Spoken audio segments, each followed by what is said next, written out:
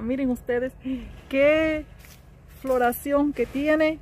¿Cómo se llama esta, amor? A mí siempre se me olvida el nombre de esta planta.